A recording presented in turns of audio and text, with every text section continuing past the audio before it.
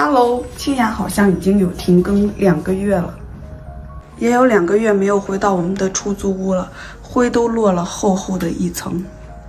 昨天呢，我和小熊我们凌晨三点到的郑州，是从杭州开车回来的。而且我和小熊已经有两个月没有去过我们的公司了，我现在收拾一下，准备去一趟公司。简单化了个妆，现在要去公司了。小熊同学，小熊同学，你要不要跟我一起去公司？你要不要跟我一起去公司？啊？几点了？十二点了。去算了，时间也不早了，还是在家先煮个面吃吃再去吧。其实我还是挺喜欢我跟小熊我们两个人租的这个房子，虽然很小，但是感觉特别温馨。